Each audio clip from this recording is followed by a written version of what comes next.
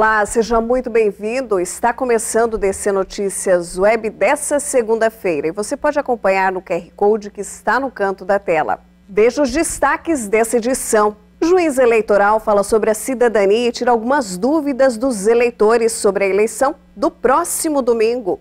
Alerta de dengue no município. Dados apontam preocupação em algumas regiões. No próximo domingo tem a chegada da imagem peregrina de Nossa Senhora Aparecida. 26 de setembro de 2022, o DC Notícias Web já está no ar.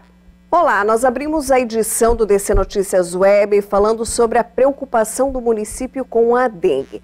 Dados apresentados pelo CCZ mostram que algumas regiões estão com mais incidência de casos de dengue. O Lira foi realizado entre os dias 29 de agosto e 2 de setembro de 2022. Foram vistoriados 4.876 imóveis e foi realizada a leitura de 2.069 armadilhas. Os resultados apontam um índice de infestação predial de 0,74%, o que é uma taxa considerada de baixo risco para a epidemia de dengue. Já o risco predial de armadilhas foi de 0,9,6% o que é considerado de alto risco. O IPP mostra que, em relação aos imóveis, menos de um a cada 100 residências vistoriadas continha criadouros do vetor. Já o IPA revela que a cada 100 armadilhas vistoriadas, 10 continham um mosquito transmissor da dengue. Em relação ao último Lira, que foi realizado em maio deste ano, houve uma queda na captura das duas fases do mosquito. Os índices desse ano estão próximos ao que foi realizado em setembro de 2021. Até o dia 20 de setembro, foram notificados 1.273 casos suspeitos de dengue em Foz.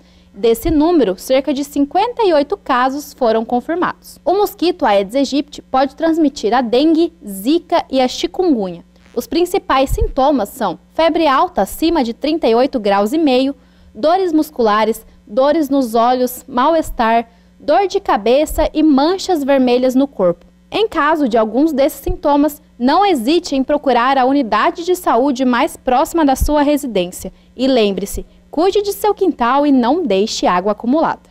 No próximo domingo tem eleição no Brasil e nessa reta final saiba como fica o calendário eleitoral para as propagandas em rádio e TVs e a distribuição de materiais pelos candidatos. O 2 de outubro, data do primeiro turno para as eleições de 2022, está cada vez mais próximo.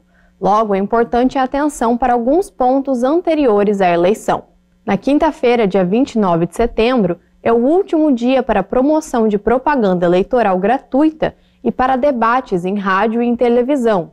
Já no 30 de setembro, na sexta-feira, é a data final para as propagandas pagas, sejam no material impresso ou de reprodução da internet. E por fim, no 1 de outubro, sábado que antecede a eleição, é o dia limite para a divulgação eleitoral com alto-falantes, das 8 da manhã até as 10 da noite. Lembrando que esse horário das 10 da noite também é o término para a entrega de material gráfico e para a ocorrência de carreatas, caminhadas eleitorais e passeatas. Para mais informações, acesse o site do TRE. E veja a seguir, no próximo domingo também tem a chegada da imagem peregrina de Nossa Senhora Aparecida. No próximo domingo, a cidade de Foz do Iguaçu irá receber a imagem peregrina de Nossa Senhora Aparecida na região do Porto Meira. Missas e uma programação especial foi preparada para acolher os fiéis. No dia 12 de outubro, acontece a chegada da imagem peregrina de Nossa Senhora Aparecida. E para comemorar esse feriado nacional, a Diocese de Foz do Iguaçu preparou uma semana totalmente dedicada à padroeira do Brasil. Uma data importante que todos os anos, não somente aqui a nossa paróquia, mas também toda a região aqui de Foz do Iguaçu, gente do Paraguai, da Argentina que vem também, aguardando a imagem que vem do Santuário Nacional de Aparecida.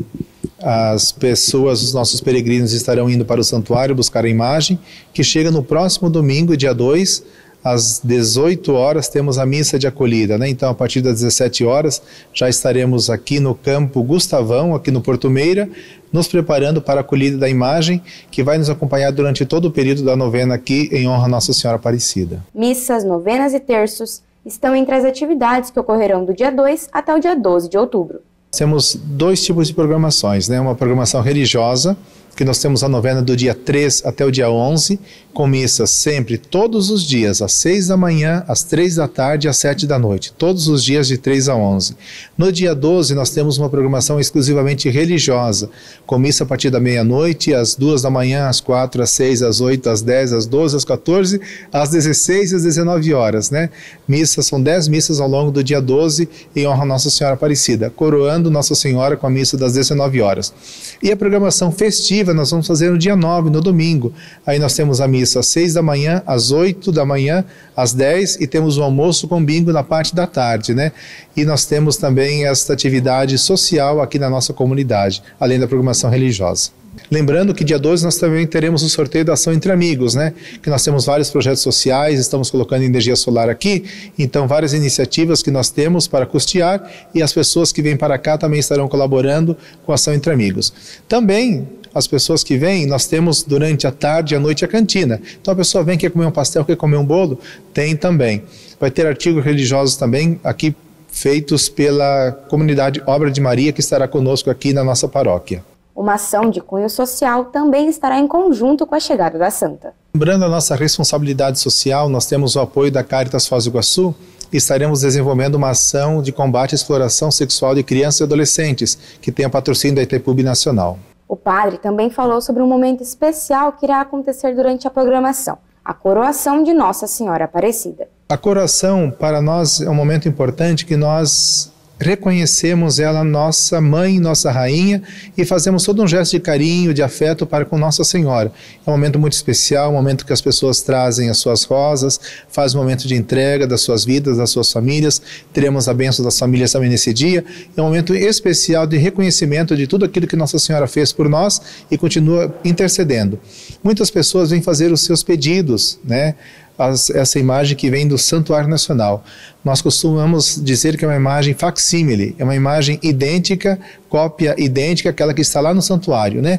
E muitas outras pessoas vêm agradecer as graças alcançadas. Na novena passada fizeram os seus propósitos, fizeram a sua novena, pediram a sua graça e alcançaram a graça, e nesse ano vêm aqui para render graças e agradecer a Nossa Senhora os benefícios alcançados. E no próximo bloco, o juiz eleitoral conversa com o DC Notícias Web sobre cidadania e o voto dos brasileiros no próximo domingo.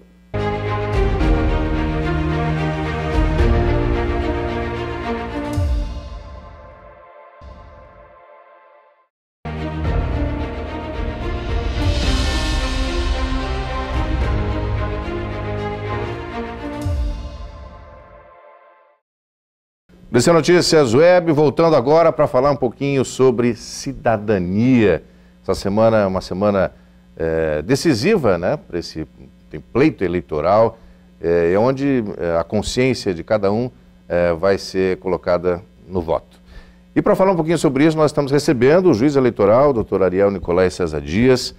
É, eu gostaria de, antes de mais nada, agradecer a presença do senhor aqui no DC Notícias Web, nesse momento tão importante para o país, doutor. Imagina, o agradecimento é nosso, em nome da Justiça Eleitoral, de ter a oportunidade de vir aqui trazer alguns esclarecimentos nessa reta final, quase em dia de eleição, né? Então, uma semana decisiva. Qual é a expectativa para esse pleito? É, Foz do Iguaçu, a gente até conversava, sempre se caracterizou por, uma, por, por ter um pleito, ter uma eleição tranquila, doutor. Exatamente. Uh, esse ano, né, uh, alguns episódios nos deixaram preocupados, assim, em âmbito nacional foram uma série de questões, essa polarização toda, mas estamos trabalhando desde tempo para que tudo transcorra com uma certa tranquilidade e a nossa expectativa é essa. Acho que o período de propaganda aí vai, vem transcorrendo né, dentro de uma regularidade e a gente espera que até o dia da eleição e o dia em si tudo transcorra bem como usualmente aconteceu aqui na nossa cidade de Foz do Iguaçu e Santa Terezinha que também atendemos. Doutor, eh, antes da gente falar sobre a questão da cidadania, que eu acho que tem um aspecto eh, importantíssimo, a questão das urnas, já estão todas elas prontas? Elas vão ser distribuídas eh, em que momento para cada sessão eleitoral? É, na semana passada, na quinta-feira, foram feitas as cargas já de todas as urnas, que é o momento em que as informações são carregadas para dentro dos terminais, né? Ali então com os números dos candidatos, fotos, enfim, isso tudo já foi feito. Depois tiveram as cerimônias de carga e lacração que estão sendo finalizadas já. Uh, até hoje está tudo pronto, hoje é o último dia para finalizar tudo, então ficam as urnas todas lacradas, prontas já para o dia da eleição. E aí elas serão levadas para os pontos de votação no sábado. Na véspera da eleição são levadas para os locais, para as escolas e outros pontos. É, a gente fala dessa questão da, da polarização, mas é, é, muito importante falar sobre cidadania, né, é, doutor? Porque é, o processo eleitoral é, é, é, a cara da cidadania, ou seja, é ali que, que, que o cidadão insere na urna toda uma expectativa né, de, de, de de como o país, de como o Estado, de como o município nas eleições municipais, enfim, mas, mas é o aspecto de, de cidadão que está sendo ali é, no domingo que vai ser, vai ser implantado, né? Sem dúvidas, uh, acho que a eleição é o ponto máximo do exercício da cidadania, né? Uh, na verdade, assim, às vezes o pessoal coloca, ah, mas eu não gosto de política, não me envolvo. É. Na verdade, o homem é um ser político, a política faz parte da nossa vida. Em todas as ações, né? A partir do momento que a gente vai viver em comunidade, né, que a gente deixa de viver isolado e passa a viver num corpo social, a gente precisa de uma coordenação das atividades e a política faz isso através dos representantes eleitos, né? E esse momento de votação, de escolha, de eleições é o momento em que a gente exerce diretamente essa cidadania né, que a população, cada um de nós, escolhe aqueles que vão nos representar, seja no Poder Executivo, no Poder Legislativo, nos próximos anos. Aí, então é um momento de extrema importância e é um momento né, que a gente sempre coloca assim, é um momento de festa, na verdade. Né? A gente vê, assim, às vezes, esse, essa certa animosidade que faz parte um pouco desse cenário, mas o que a gente tem que lembrar sempre é que uh, são adversários, né? não inimigos. É uma disputa eleitoral, é uma é estão né, concorrendo ali, mas ninguém é inimigo de ninguém, não é uma guerra. A gente está ali para cada um expor, cada candidato expor suas ideias, seus projetos de governo e cada um conforme a sua visão de mundo, suas concepções, fazer a escolha daquele que melhor acha que, na sua visão de vida, fará aquilo que é melhor para o nosso país, para o nosso estado, para a nossa população. E, e a melhor forma para, inclusive, cobrar depois, né, doutor, é aquele momento de botar o seu voto na urna, né? Sem dúvidas, o momento da votação é o ápice da democracia, né? É ali que a gente escolhe. Vai lembrar que às vezes a gente pensa, ah, mas o meu voto não tem importância, é só um, um voto. voto. Na né? verdade, assim, a, a, eleição é feita por uma soma de votos, né? Então, é esse um voto que faz a diferença, porque é somado com outro, com outro, então é essa união de votos que dá o resultado. Então, é sim o voto de cada um, né? De nós, cada cidadão que participa da eleição, o voto é essencial, interfere no resultado, contribui para isso e isso é bastante importante, essa consciência de exercitar essa cidadania. Né? O senhor falou de um ponto importante, a, a, questão da consciência, ou seja, votar de forma consciente, ou seja, naquele candidato que realmente represente eh, as suas aspirações, as suas esperanças, o seu desejo de, de enfim, do que, do que deve acontecer no país, no Estado. Isso é importante, né, doutor? Sem dúvida, é importante cada eleitor, eleitora ir lá e, né, às vezes alguns já estão definidos, outros algum não, algum cargo sim, outro não, mas nesse momento assim, é importante sempre cada um votar por si, né?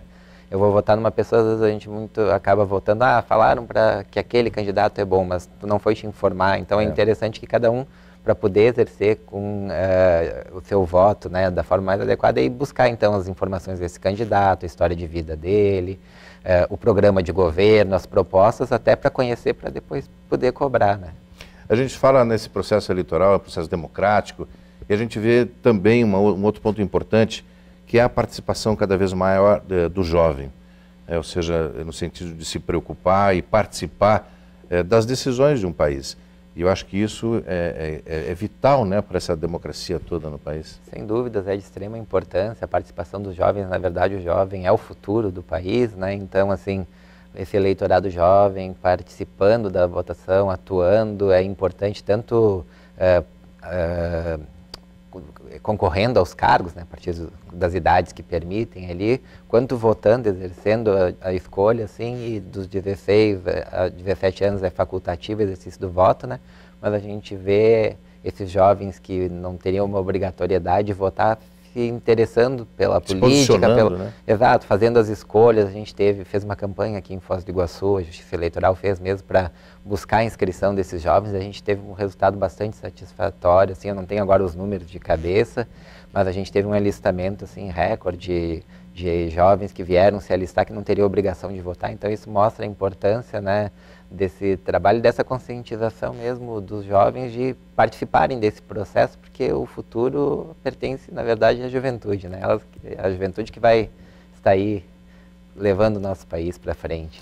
Doutor, e de outro lado a gente vê os idosos acima de 70 anos que não precisariam votar, mas é muito comum a gente, quando vai fazer reportagem nas eleições, logo cedo, né, quando abre a sessão eleitoral, já os idosos já na fila.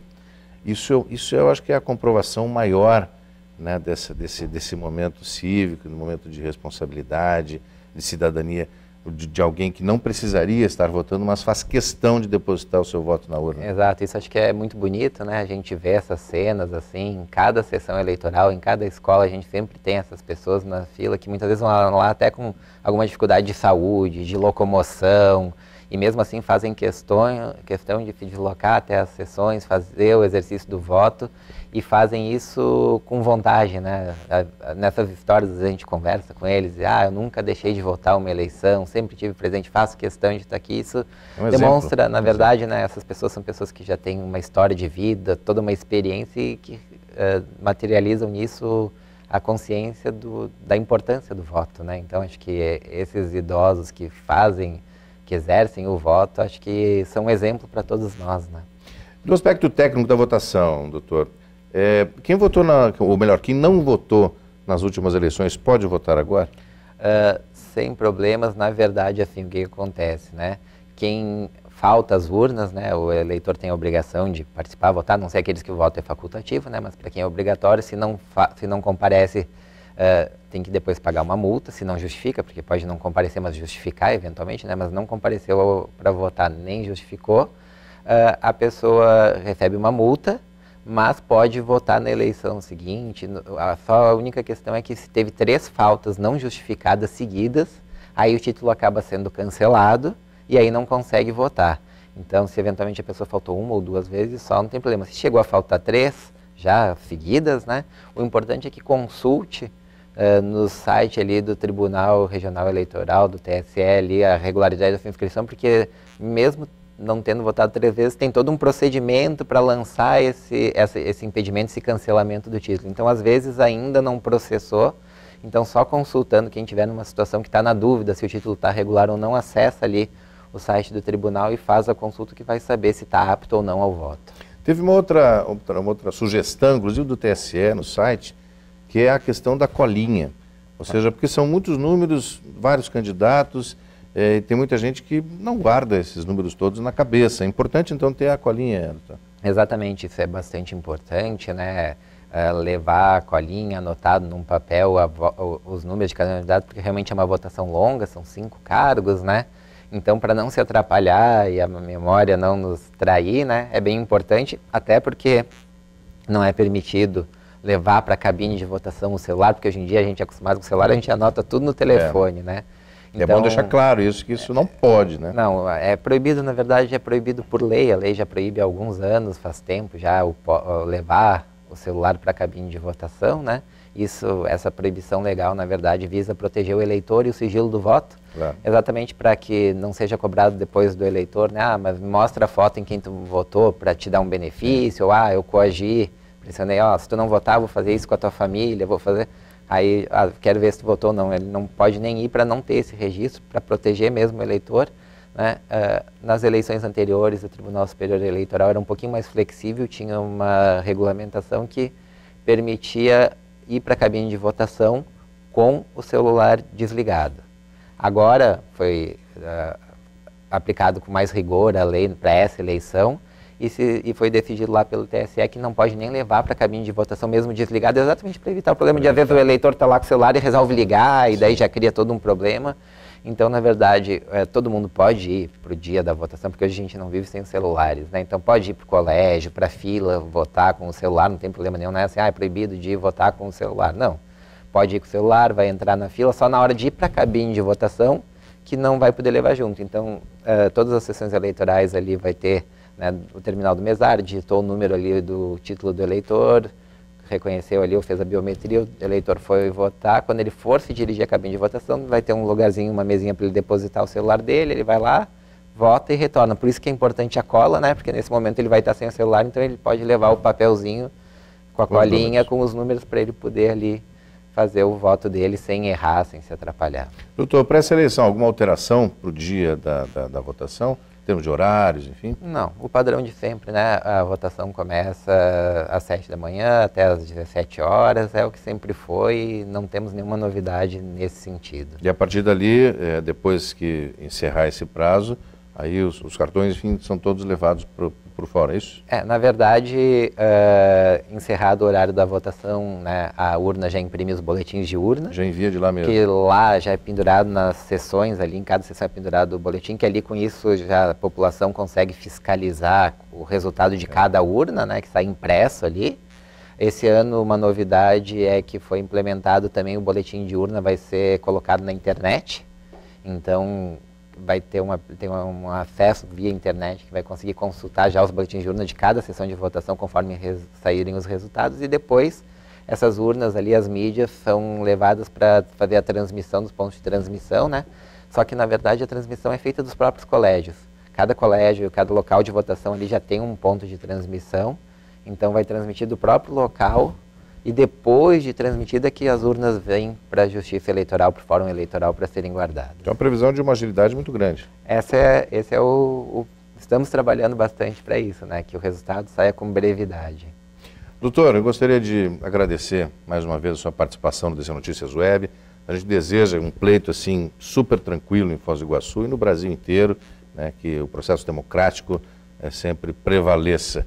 E agradecer de coração a sua participação aqui no DC Notícias. Imagina, a gente que agradece também a oportunidade de estar aqui esclarecendo um pouquinho essas questões, conversando né, com a nossa população, com o nosso público sobre essas questões tão importantes para o nosso país, para o nosso futuro, né?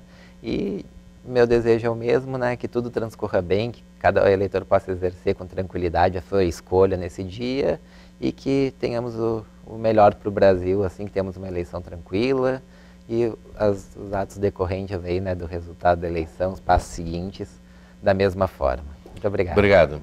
E o DC Notícias Web de hoje fica por aqui. Nós voltamos ao vivo amanhã. Fique conosco também em nossas redes sociais oficiais. Até amanhã.